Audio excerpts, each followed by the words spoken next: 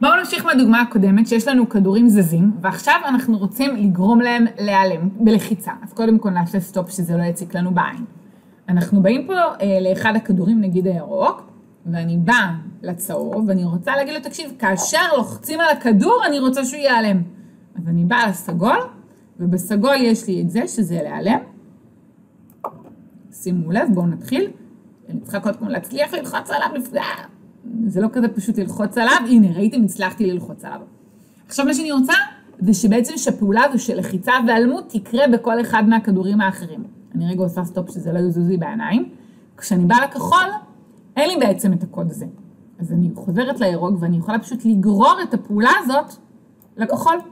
ואז כשאנחנו באים לכחול אנחנו רואים, בואו נתחיל מההתחלה, אז הירוק מגיב, הוורוד והצהוב לא מגיבים, אבל הכחול מגיב.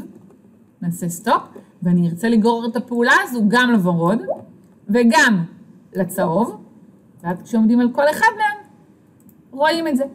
אז בואו נתחיל מההתחלה, הנה הכדורים, הם מתחילים לזוז, הנה הצלחתי להעלים את הצהוב, הצלחתי להעלים את הכחול, הצלחתי להעלים את הוורוד, הצלחתי להעלים את הירוק, אוקיי? אגב, התוכנית הזו ממשיכה לרוץ ולרוץ עד אינסוף, ואנחנו פשוט לא רואים את הכדורים. אה, בסרטון הבא אני אראה לכם איך אנחנו יכולים להחזיר אותם בחזרה לחיים.